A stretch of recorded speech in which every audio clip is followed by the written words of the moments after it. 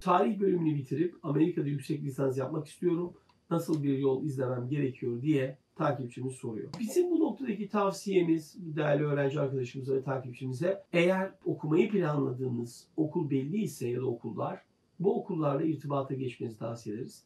Bu okulların uluslararası öğrenci bölümüyle irtibata geçip onlardan e, okullarında yüksek lisans yapmak için ne tür şartları yerine getirmeniz gerektiğini örnek veriyorum. Belki TOEFL'dan belli bir puan alınacaksa onu öğrenmek, CİMET mi gerekiyor onu öğrenmek, işte kredi notları, transkriptler, referans mektupları neler gerekiyorsa bunları öğrenmenizde fayda olacak.